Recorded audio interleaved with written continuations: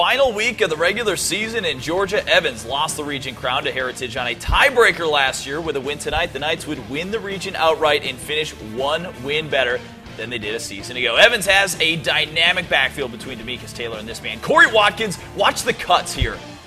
Special, next level stuff. That's the reason why we're going to see him in the next level. Big game. Knights kick a field goal on that drive.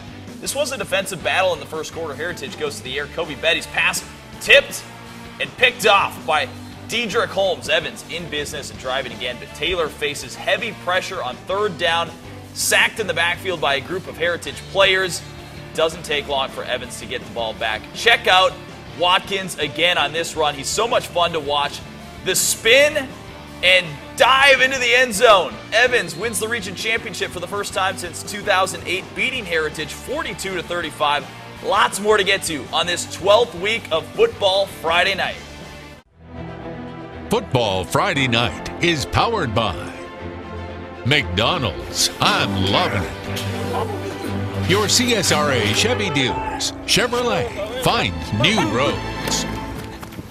Augusta Technical College. Your leader in cybersecurity programs. Great deals on furniture. The deals are here. The deals are now.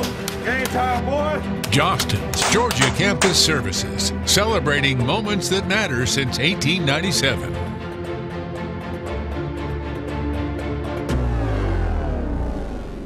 Now, the leader in local high school football coverage, WJBF Sports brings you Football Friday Night. Thank you for joining us again on another week of Football Friday Night. It is week 12 of the high school football season, and Zach Hughes, that means it's playoff time as well. It's the best time of the season with the playoffs starting in South Carolina tonight. A few of our area teams had first round byes, but mo most were in action on what was a picture perfect night around the CSRA. Absolutely. We'll get to those games in our next segment, but first, the final week of the regular season in Georgia with one of our premier matchups of the entire 2017 season in a battle of unbeatens. Jefferson County at Screven County for the region title and a top seed in the playoffs. Screven won 49-34 last year in a shootout. This year, the Gamecocks hosting. CJ Wright powers up the middle, goes inside the 20 on the next play. Kim Hunter around the end and into the end zone. The Gamecocks strike first, 7-0 over Jefferson County. Now 9-0 after a Jefferson County safety, and Armani Bunbury takes it down to the five. Look at that move. What a fake as he cuts upfield. Third and goal, and CJ Wright powers it in for the score. And with the two point conversion, it is 17 to nothing. Screven County dominating early second quarter. Watch this throw. Warriors on the move. Jaden Jenkins finds Ty King in the end zone, gets it with a couple of defenders in his face. Jefferson County back in it, but not for long. Screven County's Jonathan Roberts takes the kickoff and rambles down the far sideline, following his blockers. He takes it all the way inside the Jefferson County 10 yard line.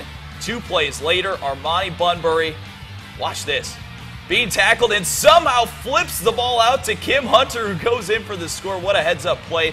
44 to 20. Screven County beats Jefferson County to win the region for the second straight year. Both of those teams will be at home next week to start the playoffs. Well, with Evans' win over Heritage, Grovetown could lock up the number two seed with a win over Lakeside. It was a special evening at Grovetown. The Salute to Service game sponsored by the Atlanta Falcons. Players sporting those sweet military themed uniforms and skydivers parachuting in with the flag. An awesome scene there. First quarter, Grovetown deep in Lakeside territory. D'Angelo Durham takes the handoff, finds a crease, and takes it in for the touchdown to put the Warriors up 7 0 later in the first half now. Lakeside with the ball. Jaden Taylor looking to pass. He'll pull it down, try to run, but Grovetown's Greg Rogers comes up with a huge hit to pop the ball loose. Grovetown recovered, and the Warriors got the win 24 7. They'll be a number two seed for the playoffs. Well, this season has been a mirror image of last year for Greenbrier. The Wolfpack once again started the season 5 0, but have lost four straight region games to fall out of playoff contention. Trying to finish the season on a positive note with a win over Alcovy. Third quarter, it's 14 3 Wolfpack. Hayden Harrison keeps. Nice little B button for the spin move, making the defenders look silly, and fights his way in for the touchdown to put Greenbrier up 21 3. Alcovy trying to fight back. Andre Robinson takes the handoff to the sideline, cuts back inside, makes a defender miss, and he's off to the races. But Greenbrier's Jonathan Cole shows off some serious speed to prevent the score, but on the very next play, Nick Simmons finds Cameron Fong for, over the middle. He gets into the end zone, but the Wolfpack get the win 21 10 to finish the year.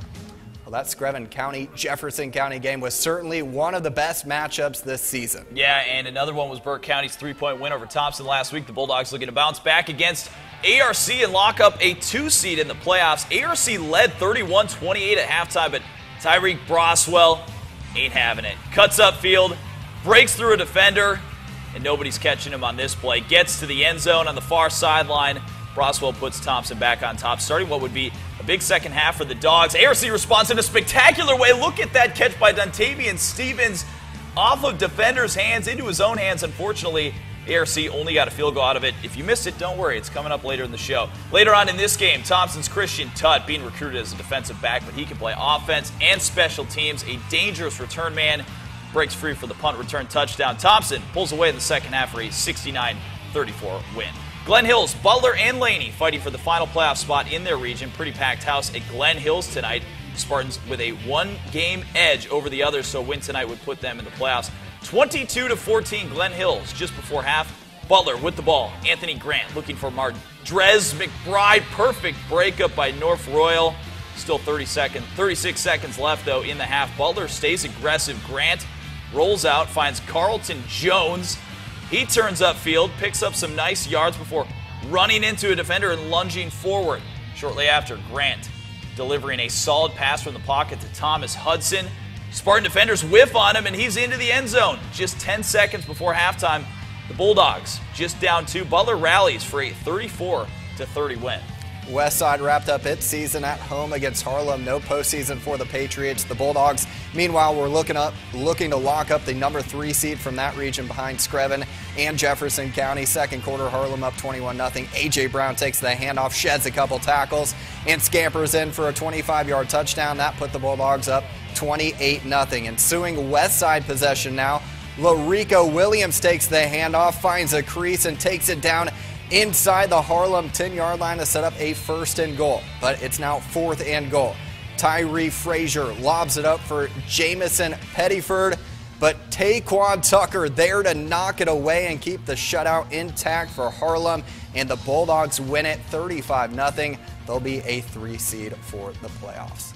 Well, what a way to wrap up the regular season in Georgia. Yeah, several other teams in our area were on the road tonight, including some Class 1A teams competing in postseason playing games. Keep tabs on the score on the ticker or check our website, WJBF.com, after the show as well. Aquinas did win their region over Stratford Academy. Coming up next, it's playoff time in the Palmetto State with a couple of Aiken County schools hoping to make a deep postseason run, but one team's run was cut a little early tonight. That's next on FFN. We're